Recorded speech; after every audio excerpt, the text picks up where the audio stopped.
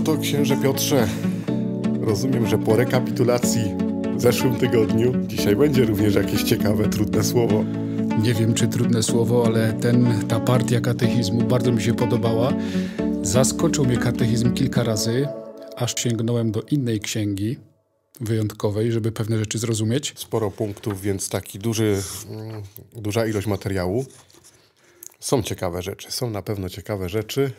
Mam wrażenie, że ten dzisiejszy fragment przypomina mi taką drabinę ze szczeblami i każdy szczebel opowiada o jakimś misterium życia Jezusa. Każdy jest ważny. Razem stanowią genialną całość. No to idźmy, startujmy. To proszę bardzo, to, to może zacznij. Chcemy dzisiaj podzielić spotkanie, tak jak katechizm, na dwie części. Po pierwsze, powiedzieć o dzieciństwie Jezusa i o tych ukrytych y, momentach życia Jezusa. Latach jego życia, tym okresie ukrytym. Tak, a potem skoczyć do publicznej działalności. Na pewno najwięcej powiemy o tym ukrytym. Jak sama nazwa wskazuje, no i... były ukryte. A, a że Pan Bóg jest wszechmogący, to to dobrze schował. Także raczej niewiele znajdziemy. Ale ciekawa rzecz, od czego byś zaczął ukryte życie Jezusa? Nie przypuszczałem. No, od czego? No i katechizm mówi o Janie Chrzcicielu. O, od zapowiedzi. Tak, o przygotowaniu. No w ogóle to, to mi się podoba, że tu nie ma przypadków. To jest taka moja pierwsza rzecz. Nie wiem, czy wpadłeś na coś takiego, ja sobie nawet zapisałem, tak. że tu nie ma przypadków. Nawet przed narodzinami już, można powiedzieć, Bóg wszystko świetnie przygotował. Tak, ja sobie zapisałem takie, czy Jana mogło nie być? Od razu wniosek, że musiał być. Był zapowiedziany, przewidziany, miał przyjść w duchu i mocy Eliasza jakiś prorok, żeby przygotować na tak. Jezusa. No to Jan musiał być. No i ten Jan sobie go tak nazywałem, że to jest ten bohater Adwentu, bo my całe życie Jana przerabiamy w Adwencie. Też już troszkę na ten temat mówiliśmy. I też ten, napisałem takie sformułowanie, że Pan Bóg ma takie domino. Jak Pan Bóg przy uruchamia, to leci. Przy stworzeniu świata, jak uruchomił, jak tam Adam się źle wybrał, to już wtedy się uruchomiło. I wszystkie prostwa, i to się dzieje. No i pierwsze kilka punktów opowiada o Janie Chrzcicielu. Czy coś byś do, do tego dodał? do tej postaci Jana, którą w Adwencie bardziej omówiliśmy. To chyba najważniejsze jest właśnie to, że, że to jest wszystko przygotowane, że to już jest coś, co się dzieje i coś, w co tak naprawdę my wchodzimy na tyle, na ile nam Pan Bóg pozwala, bo to jest też ciekawe, no nie, że coś nam zdradza, coś nam mówi, ale też wiele rzeczy jest takich niedopowiedzianych. Jan po raz pierwszy wskazał na Jezusa. To jest ważne, byśmy zapamiętali. Oto baranek Boży, który gładzi grzechy świata. No i potem katechizm nas zaprasza już w te momenty związane z dzieciństwem. Misterium tak. narodzenia Bożego Syna. Na pewno jak mówimy o misteriach Jezusa i pojawia się Boże Narodzenie, to chyba najważniejszym wymiarem jest to, że to Boże Narodzenie dokonuje się tak, jak było zapowiedziane. I że w tym Bożym Narodzeniu od razu widać, że spełnia się jakaś obietnica Pana Boga. Bo, bo to jest wtedy misterium, że to Boże Narodzenie od, odsyła jak gdyby do tego, co Bóg już zapowiedział. Tego, co było już u proroków. Nawet katechizm to tam podkreśla, no nie? Za każdym razem, jak mówi o Bożym Narodzeniu, to pokazuje zapowiedzi, więc to misterium się wypełnia w tym, że nawet takie wydarzenie jak narodzenie w stajni w Betlejem staje się znakiem obecności Pana Boga. I, I, to chyba jest taka najważniejsza myśl z tego Bożego Narodzenia, jak chodzi o misterium oczywiście, bo cała treść to jest wiadomo, że większa.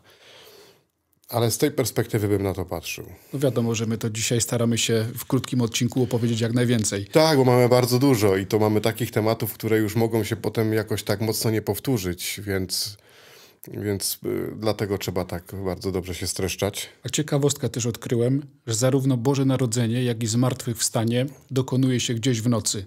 W Egzultecie też śpiewamy Błogosławiona noc i tak dalej, a zesłanie Ducha Świętego dokonuje się w ciągu dnia. Bóg Ojciec przy stworzeniu świata tworzy jedno i drugie, Jezus jakoś dziwnie jest obecny w tych nocnych porach, a Duch Święty w ciągu dnia. No to jest ciekawe, może kiedyś... Może ktoś na ten temat napisze jakiś wiersz. Bo Chciałem powiedzieć, że może jakaś teologia tego. Nie, to chyba za grubo. A tu od razu poezja. Na pewno bym poszedł już dalej do tego y, dzieciństwa Jezusa, bo tam mamy bardzo mało treści, ale jest treść bardzo ważna. Y, jak chodzi o misterium.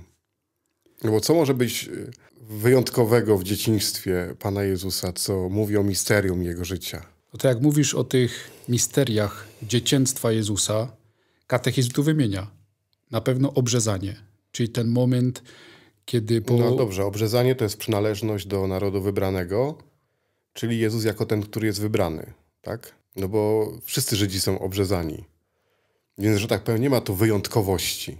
To jest to, że Jezus tak samo jak każdy Izraelita wypełnia prawo. No właśnie, a my mówimy o misteriach, czyli o tych momentach, które pozwalają nam w tym, co robi Jezus, dotknąć Pana Boga. Ja tak naprawdę sobie to wszystko sprowadziłem do jednego momentu w całym dzieciństwie Jezusa, do tego momentu, kiedy On y, gubi się w świątyni. Bo wtedy jest taki moment, kiedy nawet matce i Józefowi pokazuje, że to jest zupełnie ktoś inny. Nie?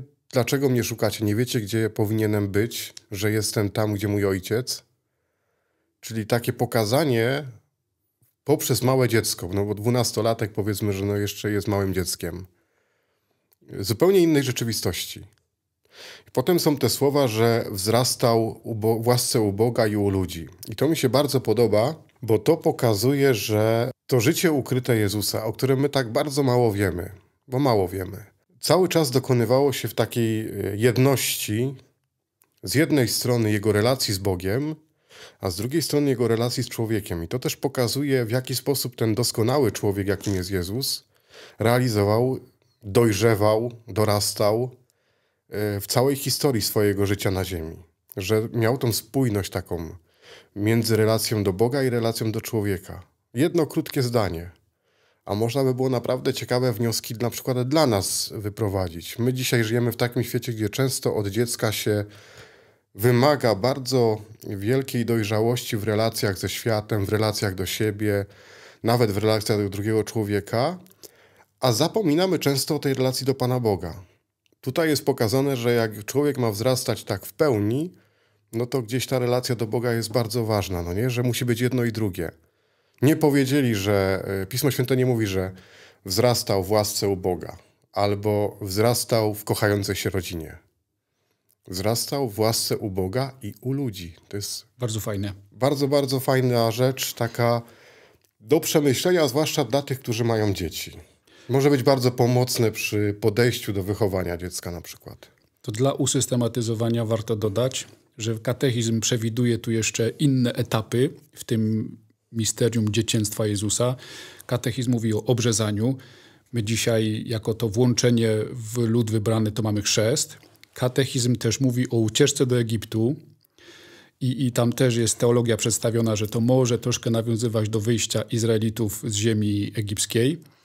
Mówi też katechizm o ofiarowaniu Jezusa w świątyni, kiedy przychodzi Józef z Maryją i ofiarują dwa gołąbki, jako ci ubodzy, ci biedni, żeby Jezusa jako pierworodnego wykupić z tego obowiązku y, służenia Bogu, no nie, Bogu. świątyni. I jeszcze katechizm mówi o tym, że w tym początkowym jego etapie życia dokonują się te różne objawienia, czyli przychodzi trzech mędrców, żeby oddać mu pokłon. Tak. To są te znaki takie, które wskazują na coś więcej. Prorokini i prorok w świątyni, kiedy przynoszą go ofiarować, którzy wypowiadają proroctwo. Potem też się dokonuje pewne objawienie podczas tego pierwszego cudu na weselu w Kanie, ale to już byśmy weszli na ten czas publicznego, publicznej działalności. Publicznej działalności. Natomiast w tym fragmencie bardzo mnie mocno uderzyło jest takie zdanie, że przybycie mędrców oznacza, że poganie tylko wtedy będą mogli odkryć Jezusa i wielbić Go jako Syna Bożego i Zbawiciela świata, jeśli zwrócą się do Żydów. Ci mędrcy przychodzą do Jerozolimy, tam się pytają Heroda i, i gdzie znaleźć to dziecię. I tak sobie pomyślałem, przecież ja też jestem poganinem. Bo w, tym, w tej konwencji ja nie jestem Żydem, jestem kimś spoza. Tak, no są Żydzi i reszta. Tak. No i, i, i odebrałem to bardzo personalnie, że ja tylko wtedy będę mógł w Jezusie odkryć tego, kim On jest, jeśli zwrócę się do Żydów. No ale my to robimy cały czas.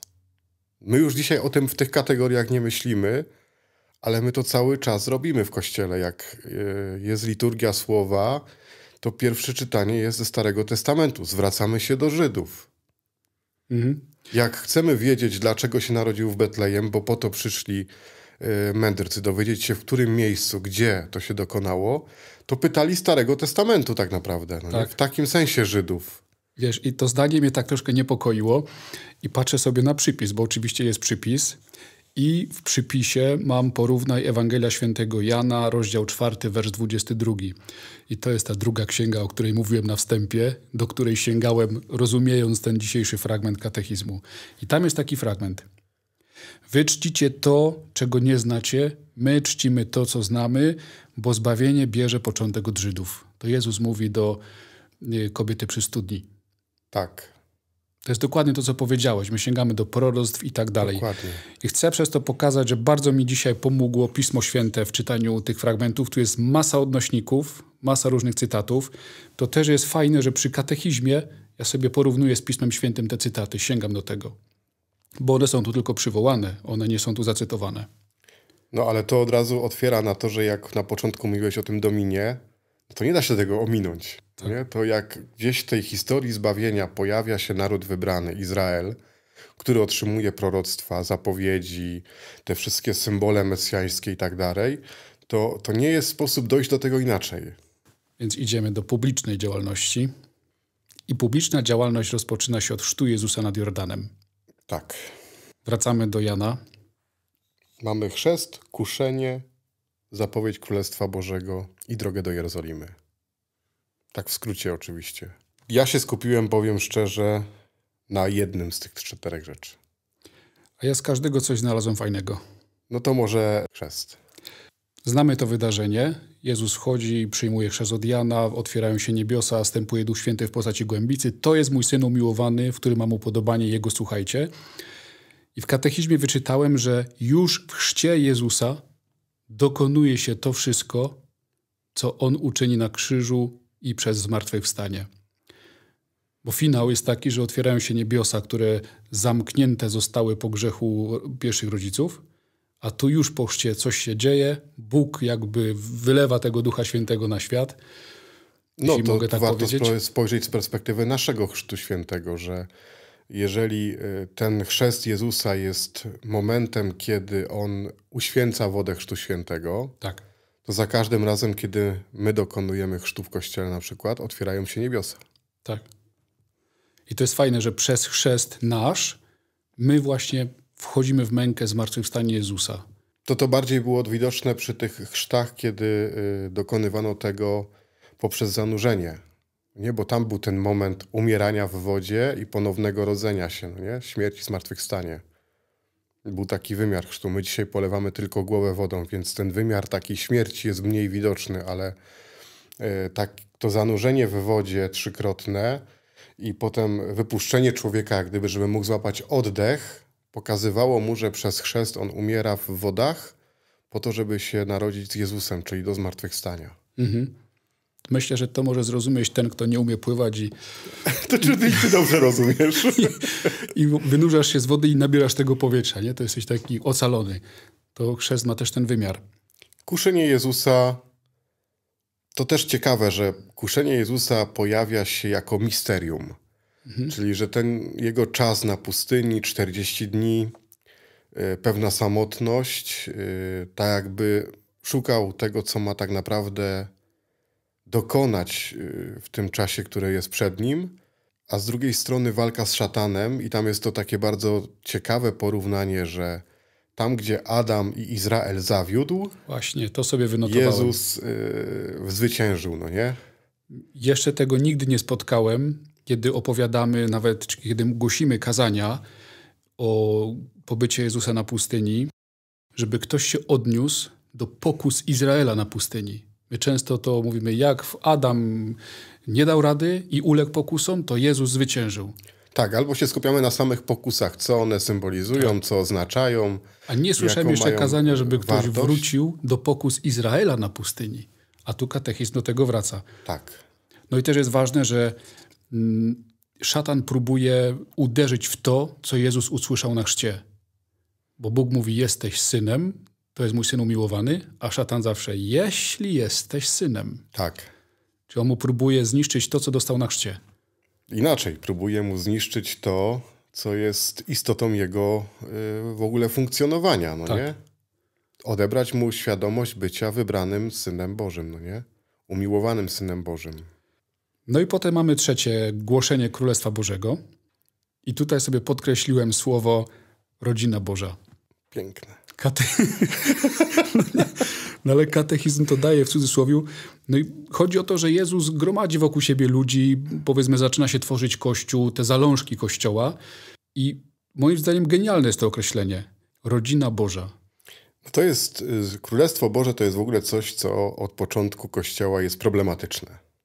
Bo już były różne koncepcje tego, czym jest Królestwo Boże. Czy ono jest na ziemi, czy jest w niebie, jak je rozumieć, jak do niego podejść. Nie chciałbym w to wchodzić, natomiast powiem, co mi się tutaj skojarzyło. Dlatego, że katechizm w całych tych misteriach dzieciństwa i życia publicznego Jezusa najwięcej miejsca poświęca Królestwu Bożemu. Nie wiem, czy zauważyłeś, że jest o wiele więcej y, stron, które tyczą tego tematu.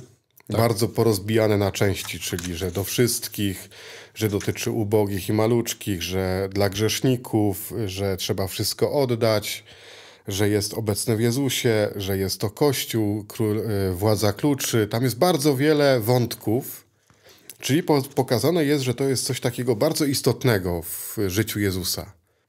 Mi się to skojarzyło e, z przemówieniem, w ogóle z postacią Martina Luthera Kinga, który e, powiedział kiedyś to sławne przemówienie Mam marzenie, I have a dream.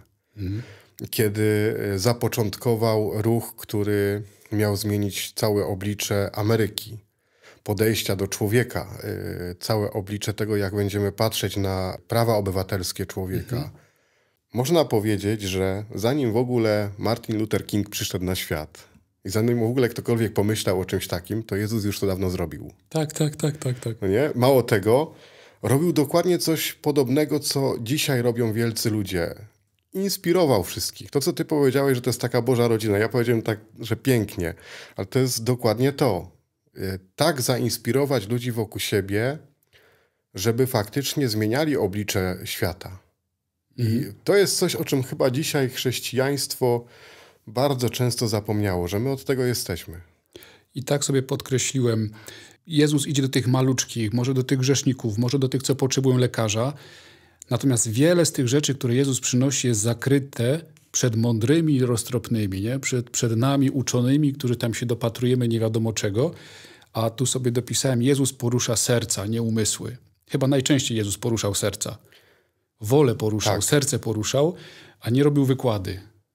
No tam jest nawet powiedziane wprost, że przemawiał o tym Królestwie Bożym w przypowieściach, że miał specyficzny sposób mówienia, y, że posługiwał się obrazem, symbolem, y, czymś, co jest y, takie no, namacalne, byśmy powiedzieli, kiedy mówił o tym, jak wzrasta słowo w człowieku, kiedy mówił o tym, jaką wartość ma Królestwo Boże, no nie o tej perle, za którą trzeba oddać wszystko, to to pokazuje, że to były słowa, które miały trafić dokładnie do serca człowieka. Ja pamiętasz, jak teraz nawiążę do tej rodziny, jak byliśmy kiedyś w seminarium na spotkaniu z księżmi diakonami i mówiliśmy o tych dziesięciu krokach do dobrego przygotowania kazania, Tak. które to 10 kroków zaczerpnąłeś od Steve'a Jobsa z tej grubej książki. Jeden z tych kroków było traktuj audytorium nie jak y, profesorów, którzy cię oceniają, tylko jak rodzinę. Zupełnie Tak, mów, inaczej się... no tam była taka, e, taki punkt, że mów do, do tych, którzy są przed tobą jak do rodziny. Jak nawet to mieliśmy takie porównanie, jak na przyjęciu rodzinnym, no nie? Jak się o coś pytają, to inaczej tłumaczy się niż na ambonie, więc żeby zejść do tego poziomu właśnie e, takiego bliskiego, że, Taki że poziom ten, który jest serca. po drugim stronie jest, jest no bliski mi. No to wytłumacz mi tak jak rodzinie, o co chodzi z tym życiem publicznym Jezusa. No ja mam dzisiaj tak naprawdę jedną myśl z całego tego życia publicznego Jezusa, że y, między zwiastowaniem i poczęciem z Ducha Świętego, a całym wydarzeniem pasyjnym, czyli y, zmartwy- śmierci, zmartwychwstania Chrystusa, ten jego cały czas, który on ma na ziemi, to jest inspirowanie ludzi do tego, żeby zobaczyli świat inaczej. I cała ta jego y, wizja nauczania, wszystkie symbole, które on y, pokazuje poprzez to, co dokonuje, poprzez cuda, To jest wszystko po to, żeby pokazać, że nie tylko on ma władzę nad światem, nie tylko y, pokonuje szatana, co tam też jest mocno podkreślone, tak. że dokonuje się to w egzorcyzmie, ale przede wszystkim, że on zaprasza człowieka do zupełnie innego życia, do zupełnie innego podejścia do relacji między Bogiem a człowiekiem, do innego podejścia między ludźmi. I, I, zastanawiam się, ile dzisiaj zostało z tej inspiracji Jezusa w nas. mogę sobie to wyobrazić. No, chodzi po ziemi człowiek, który wzywa do czegoś niesamowitego. Odsłania zupełnie inny sposób funkcjonowania świata. Stawia akcenty zupełnie gdzie indziej niż świat, w którym żyje. To są właśnie ci mali, e, ubodzy, grzesznicy, ci, do których się nie chodzi, ci, którzy potrzebują lekarza.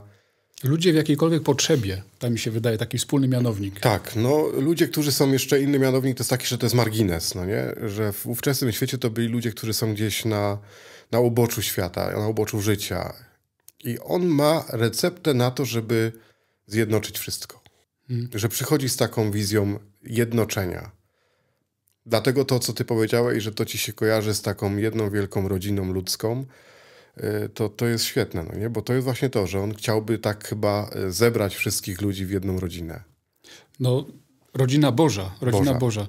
My mówimy Kościół, wspólnota Kościoła, a rzadko używamy tego sformułowania, jesteśmy rodziną Bożą. Tak. Nawet nie wiem, czy gdzieś w Eucharystii to pada.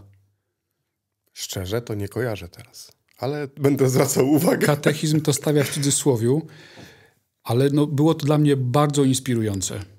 Czekaj, czekaj, czekaj, czekaj, czekaj, czekaj, czekaj, czekaj, czekaj, czekaj. Kończymy już, a ja mam niesmak. Y, znaczy takie, no, y, czegoś mi brakowało dzisiaj. Co z naszym profesorem Stańkiem?